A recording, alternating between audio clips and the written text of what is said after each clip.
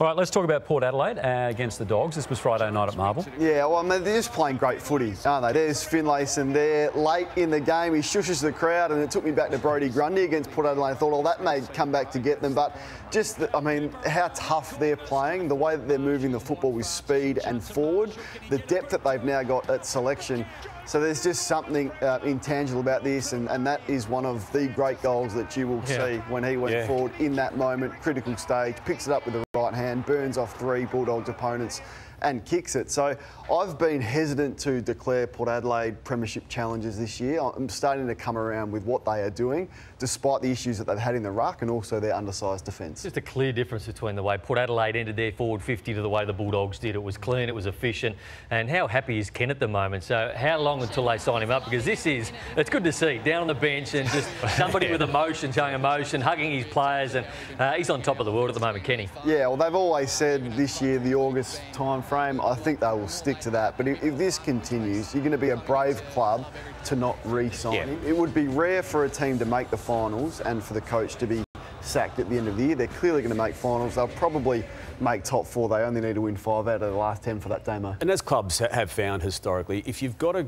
guy who's still got the players, as mm. he still does in year 11 of his coaching tenure, regardless of outcome this year, mm. it's, it's something you want to retain rather than checking the, the landscape without him. Different story for Luke Beveridge, though, TJ. I think he needs to be uh, under pressure, and as we've spoken about a number of times, he looked a little bit confused and lost and bemused almost on Friday night it's like he's got this great shiny sports car that he just doesn't know what petrol to put in it. Like he's putting the wrong fuel in this car. He's got all Australians everywhere. He's got English. Where'd he's you got Bontempelli. Well, it's, it's, a metaphor, TJ, because you, you look at it. He's got everything that he needs.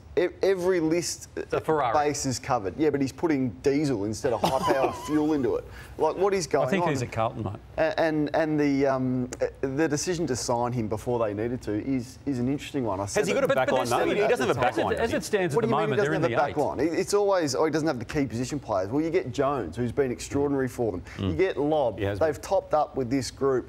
He's got everything that he needs, but he can't come up with a formula and a defensive structure that can. So are you compete. saying they should have let him stay out this season, There's like no, Port Adelaide no way they should have re-signed him when they did. I mean, would you re-sign him now? Well, I, I said at the time, I, I, felt that with two grand finals inside his eight completed seasons of footy, and again, I'm not don't get on with him. I, I felt it was the right decision to if make. If he was really out of contract now, would I you just, re-sign him? Now? again, I think he, he's a good coach. He's made two grand finals in eight seasons. Yeah, but I, mean, I think they're hard list, to make. Can you imagine if Sam Mitchell or Ross Lyon had this list, what they would produce?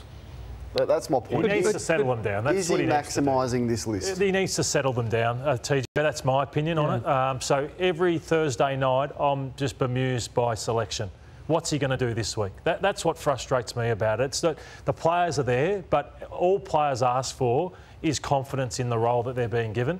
And the amount of different players that roll through this back line. So Gardner and O'Brien get dropped, and Bruce and Keath come in. Bruce and Keath were awful on the weekend. Uh, Bruce, how, how he was selected to pick play on Charlie Dixon looked uncomfortable. How O'Donnell was picked to play in that back line when he was forward line the week before. How Lobb's picked on a wing, then he's forward the next week. Why is Macrae playing on the half forward flank when he's always been a great winger and a midfielder? There's too many things that Luke does that just I don't think gives players confidence in themselves. So the players are there, but why does he need to try and invent, reinvent the wheel? which confuses the dogs. So good teams are settled in what they do, and the dogs have too many things he throws up that are confusing. It's strong stuff, Lord. Brandy, the, the, midfield operations and machinations, they get plenty of it. They yep. always get plenty of it. Are you doubtful too as to the effect?